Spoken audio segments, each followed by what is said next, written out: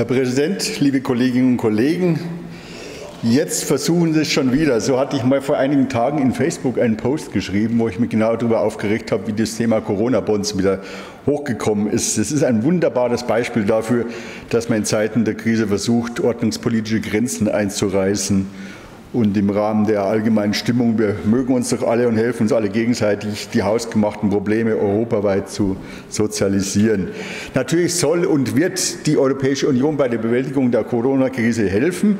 Dafür gibt es auch diverse Hilfspakete. Dr. Rieger hat das schon ausgeführt. Der ESM hat auch eine ganze Menge an Kreditvergabemöglichkeiten noch übrig, Liquiditätshilfen zu geben.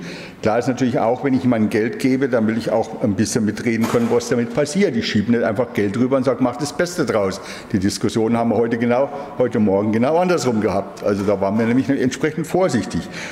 Und äh, ich glaube, dass es einigen Ländern nicht passt, wenn ich jemandem Geld leihe und dann ein bisschen mitreden will, ist auch klar. Und deshalb fand ich auch diesen einen Sentenz in, bei dem Antrag der Grünen ein bisschen interessant, dass da drin stand, man soll sich am Green Deal ausrichten. Ich kann mir gut vorstellen, wenn die Italiener Geld kriegen, dass sie sich dann am Green Deal ausrichten. Also die Diskussion würde ich auch nicht gern führen.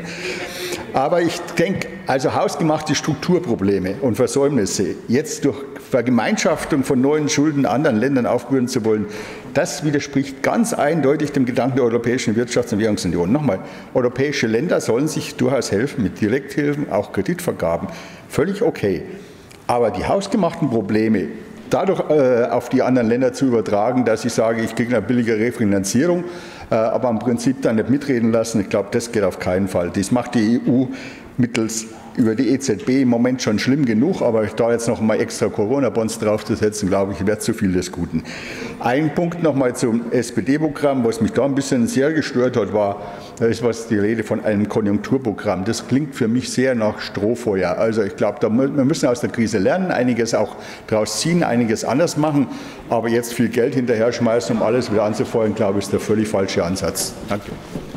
Dankeschön. Weitere Wortmeldungen liegen mir nicht vor. Die Aussprache ist geschlossen. Wir kommen zur Abstimmung. Dazu werden die Anträge wieder getrennt. Wer dem Dringlichkeitsantrag der CSU-Fraktion auf Druck